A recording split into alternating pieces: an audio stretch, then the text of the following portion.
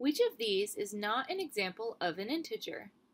Well, this is not an integer. One fourth is not an integer because it's not a whole number, it's not the opposite of a whole number, and it's not zero.